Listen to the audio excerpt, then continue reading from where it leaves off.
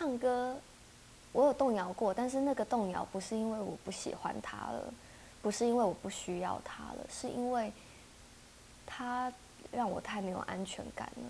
我不认为我可以有一天失而复得歌手这个身份，所以我应该算是有点被迫放弃吧。我还是很爱唱歌，我还是很很喜欢音乐，可是我不认为我有一天可以就是拿麦克风是唱歌。我会一直以为我拿麦克风就是主持或者是宣传我的戏，我不会觉得它会是一支唱歌的麦克风。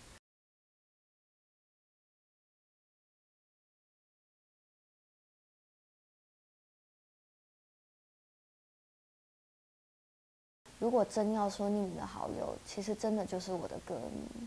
我觉得我的演唱会已经除了是为了我喜欢唱歌、我喜欢表演之外，让我妈妈骄傲之外，我其实真的是要让我这一群匿名的好友感到骄傲以及被认同。不是我需要被认同而已，是他们也要被认同。其实第一个反应，我通常是觉得是我不够好。其实我真的，一开始的反应都是这样子，就觉得，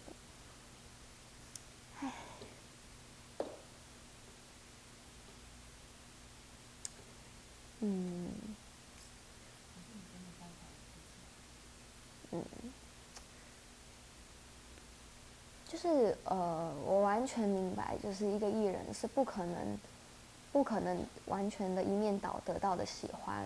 我不知道是不是每个人都喜欢听我唱歌。但是我至少就是希望大家可以知道，我真的是热爱唱歌。